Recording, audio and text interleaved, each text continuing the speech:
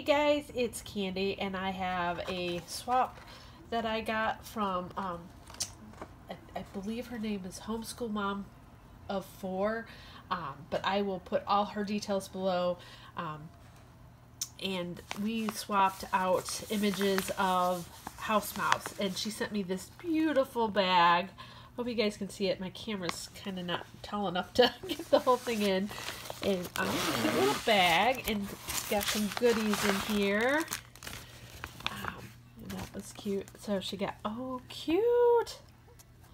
Little doodle pad. Oh, that's cute. I actually, I don't think I'm going to be able to keep this. I think my kids will steal it from me. Super cute. Thank you. And a little card here with a note, which I'll read that off camera. And, oh, cute. She made a little, um,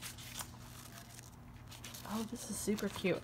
Little, um, folder here. Get this I'm so clumsy with knots. oh, this is super cute. Look at this. It's got envelopes in it. How stinking fun. I love that. I'm going to steal this idea. So cute. What a great idea.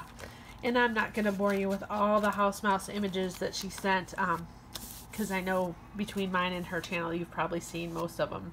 Um, but I sent her some. She sent me the ones that I didn't have that she had.